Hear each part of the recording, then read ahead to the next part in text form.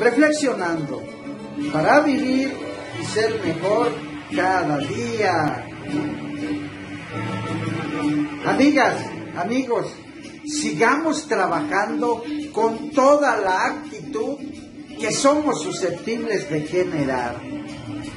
En la medida de nuestro empeño estará la grandeza de nuestro trabajo.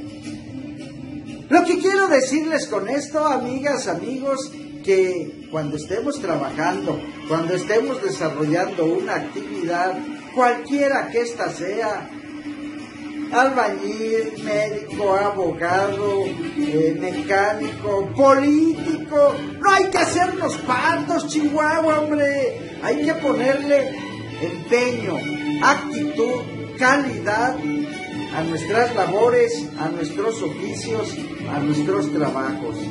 Pues en ese empeño, en esa calidad, en ese énfasis, estará la grandeza de nuestro trabajo, Chihuahua, hombre. Así es que, pues ya lo saben, amigas, amigos, no hay que hacernos tontos, por no decir una palabra más vulgar. Hay que ser responsables, en resumidas cuentas.